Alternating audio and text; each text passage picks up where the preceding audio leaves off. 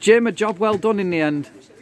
Yeah, um, no, they, they've obviously made a few changes. We've made a few changes, and uh, it was a very entertaining uh, first half. But I thought that if we kept our consistency and strength throughout the second half, I thought we'd go on and win the game. But uh, a little bit like Saturday, I didn't think Saturday was a 4-1 defeat, and I didn't think today tonight was a 5-2 win. But uh, I suppose it's just about taking chances.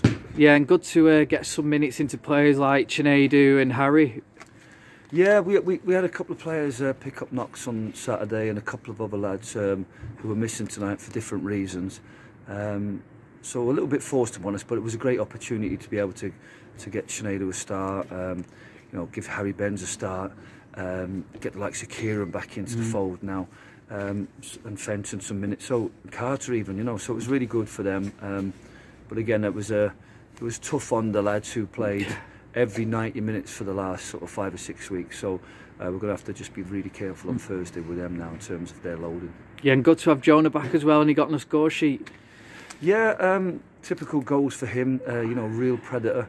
Uh, pouncing on anything that's put across the six-yard box or anything that comes off the keeper. If you look at all of his goals, they're all very similar. Um, so, but again, the lads worked really hard. In there was some great movement to get into great positions. Um, first half in particular, we had a, a great low cross from the right with Pratt score from and a great low cross from the left.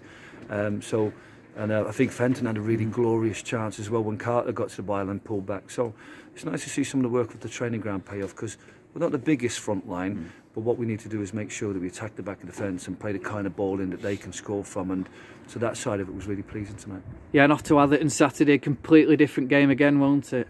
Yeah, I, I think. Um, uh, Warrington are a good footballing side. It's a nice pitch here.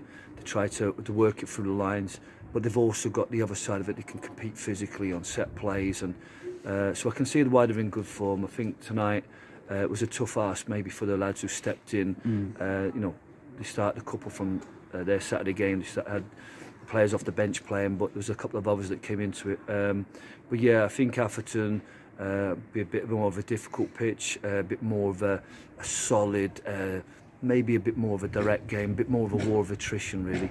There's some good football tonight, um, but I think it'd be a tough, hard-fought game on Saturday, and we've just got to be prepared physically to make sure that we can compete in that environment. Brilliant. Cheers, Jim.